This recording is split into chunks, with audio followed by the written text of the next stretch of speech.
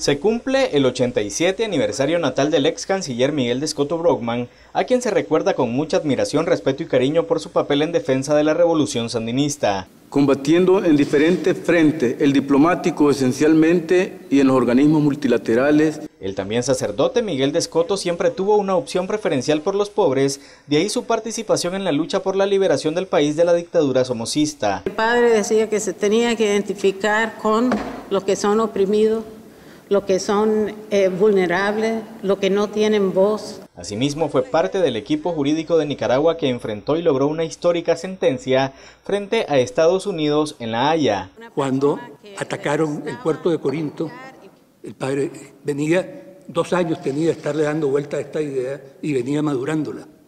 Entonces fue después de todos esos acontecimientos que vamos para, vamos para La Haya cuando asume la presidencia de la Asamblea de las Naciones Unidas, demuestra que su bandera es la lucha por la paz, misma que sigue enarbolando el gobierno sandinista. La paz era lo único que podía darle a Nicaragua y a los pueblos justicia, libertad y el derecho a tener, digamos, la autodeterminación que el pueblo decidiera.